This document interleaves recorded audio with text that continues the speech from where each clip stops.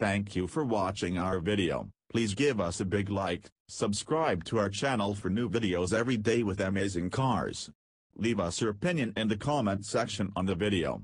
Thank you. Escaping Q1 in the British Grand Prix was eased by two drivers who did not set a time. Toro Rosso Honda's Brendon Hartley, whose crash in morning practice necessitated repairs that would prevent him from taking part in qualifying, and Lance Stroll of Williams, who beached his car in gravel at the start of the session. His teammate Sergey Sirotkin would replicate the move, but recover his car in time to get a lap in, qualifying a lowly P18.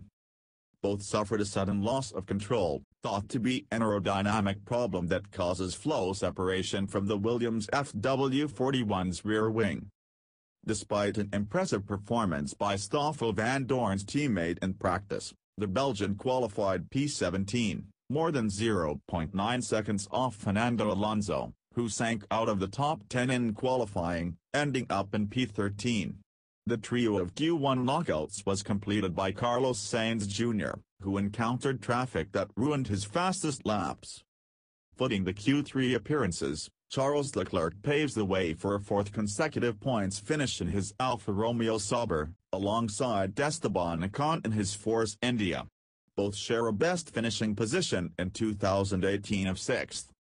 Red Bull rules row 3, though Daniel Ricciardo roosts almost a half second behind Max Verstappen, possibly attributable to lost Q3 time. The Aussie suffered a stuck DRS flap because of a software error.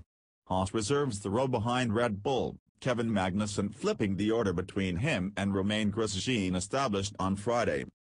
Lewis Hamilton of Mercedes had to scrap together every last thousandth of a second he could find to inch back ahead of both Ferraris. Number 44 found just enough time, 0.044 seconds, to do so and landed on pole for the sixth time at the British Grand Prix, also marking his fourth consecutive P1 grid position at Silverstone. This puts the Brit in position for a chance to retake the championship lead, which he lost to Vettel in Austria due to a mechanical failure. Should the British Grand Prix finish as it starts, Hamilton will recover a six-point lead in the championship, and Mercedes will draw four points closer to Ferrari, which leads the Constructors' Championship by 10 points.